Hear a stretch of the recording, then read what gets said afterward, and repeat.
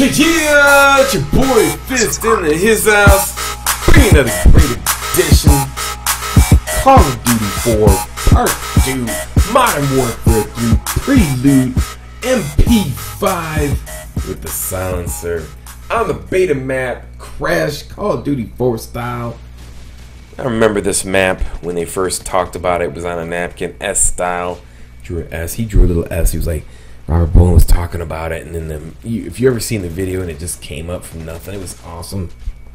I remember playing the beta style and it didn't have the buildings to the right. If you come right here, they didn't have the buildings to the right. There was nothing there. It was just a wall, and people would throw the grenade over the wall, and they, that's why they put those buildings there. See a little tidbit from Fist back in the day. And see, that's what I'm telling you. If you were a Call of Duty 4 connoisseur and you played all the Call of Duties, then what I'm about to tell you will make perfect sense why I'm playing the Call of Duty 4 game.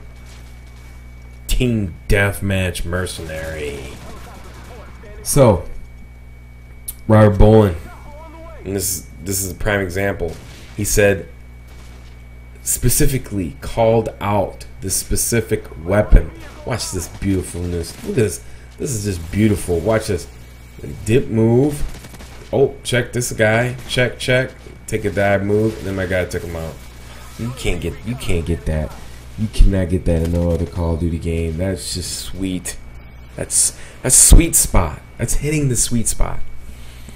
And he specifically, Robert Bowling, had named specifically named the MP5 from Call of Duty 4. Just gonna add new skin. That's what he said. You don't need any other statements. I could take some of the stuff he deleted you know, and, and I was talking about that in my video, and it just went over people's head. They don't understand it.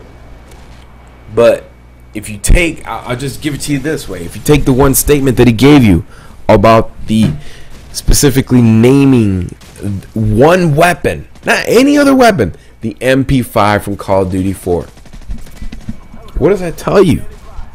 It tells you this is their fourth installment, their fourth game, Infinity Ward's fourth game that tells you that Call of Duty 4 Part 2 is going to be magnificent. It, this is basically the game that you're going to be playing. Fast paced, built in stopping power. Basically, to take stopping power out of here, that's the stuff that they learn. Like, why don't you just give it to them in the game because that's what everybody was using anyway, and let them use the other streaks. Let them use them. So I'm sure they're working on what will people use primarily in the slot two spot. So now you're getting like a two for one. And that's why I say that this Call of Duty will be the fastest Call of Duty game that you've ever played. Because they've already built in the, the killing stopping power. So now, um, you know, obviously they see the mistakes that Black Ops has made with the Ghost and, you know, just making it too powerful to just like sit in a room and listen to people and shit. That ain't gonna happen. They're probably gonna put Ghost and Ninja in the same perk. You can't use both of them. Not gonna be that strong. And that, what I liked about this game is they did, they didn't give you streaks. They just built them in. There's nothing to think about. You got helicopter, UAV, and that's it.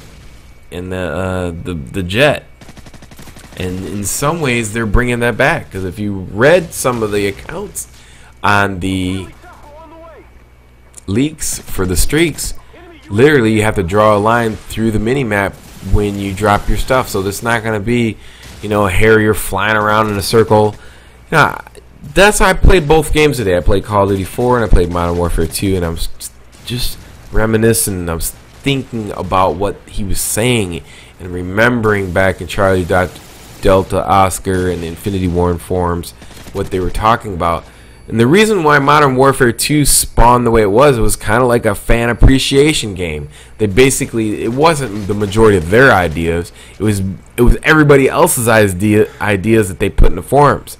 But I don't think they listened to people this time. I think Call of Duty 4 is the same, or if Call of Duty 4 Part 2, Modern Warfare 3, is the same exact idea and plan that they uh, implemented in a Call of Duty 4. Just a bunch of guys who had great ideas, and then they came up with the game.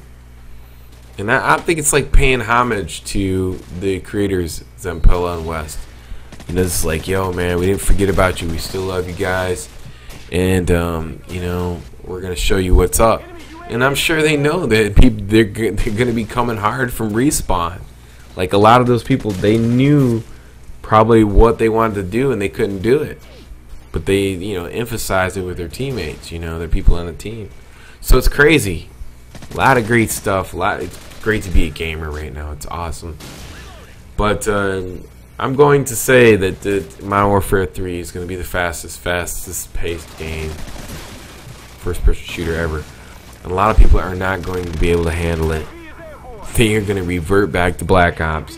Oh man, I'm used to Ghost. Oh man, I'm used to the nuke. Oh man, I'm used to this. Anyways, I just play it, move on. Till next time, it's your boy Fist. Peace!